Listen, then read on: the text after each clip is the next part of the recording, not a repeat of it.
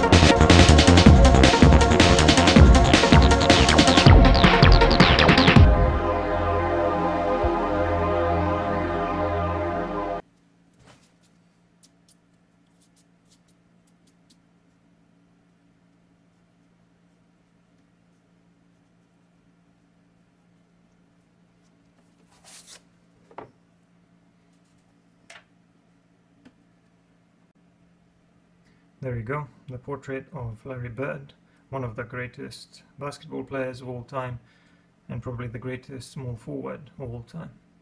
Thank you for watching.